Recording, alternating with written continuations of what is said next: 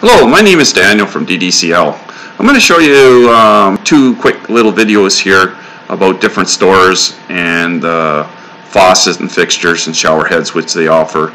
And the second reason is if a owner purchases the products, they're responsible for the warranty. Therefore, if anything happens in the future, they're responsible for having it replaced. But if the subcontractor purchases the supplies, the subcontractor is responsible for the warranty. And if something happens, they'll have to come back and replace the item for you or repair it, whatever may deem necessary.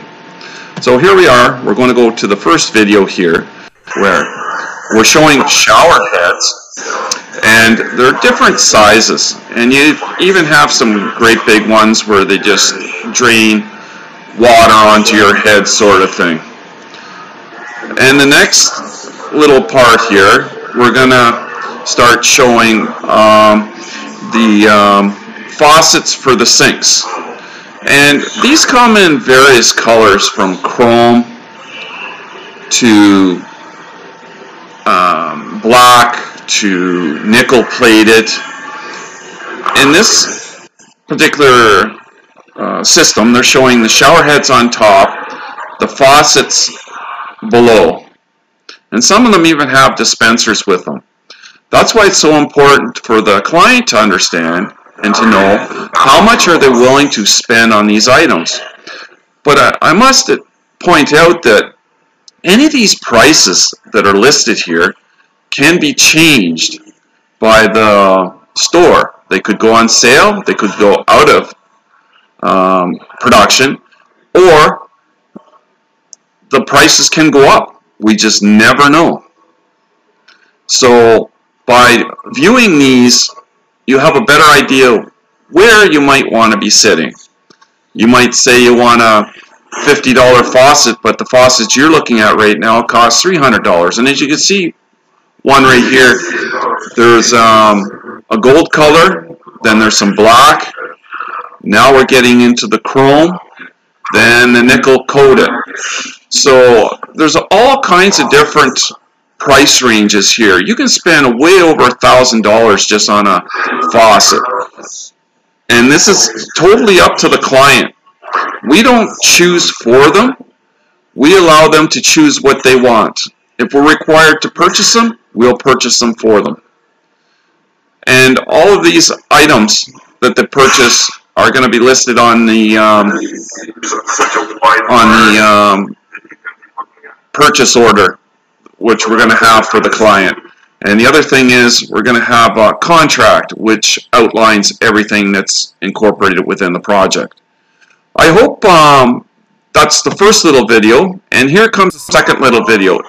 It shows a little bit uh, closer the prices that uh, are going to cost for the the uh, faucets.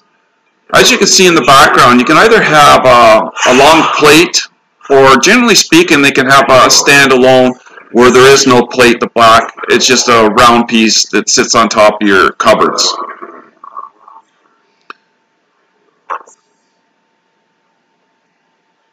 And I'll just let you view these in a little bit more quiet atmosphere now.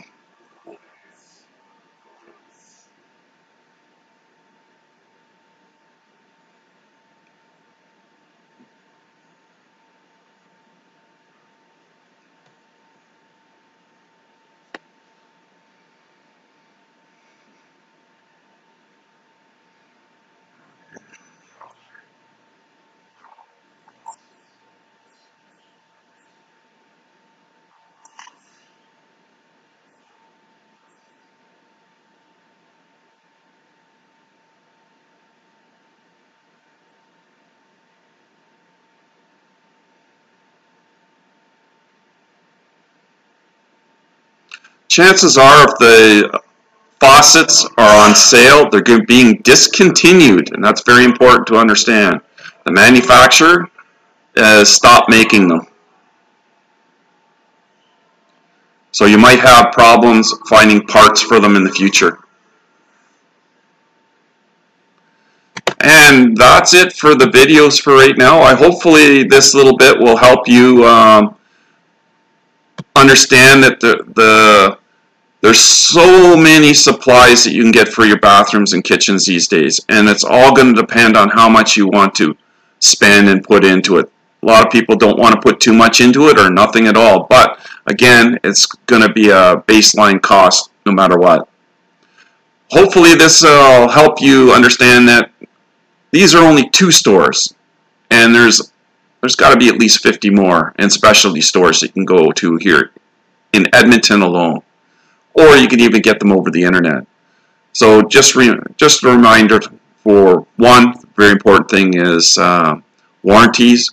Who do you want to be responsible for them, the contractor or yourself? And have fun searching because if you want the contractor to search for you, most likely they're going to be charging you for their time in the background. Thank you very much. Have a great day. Happy renovations.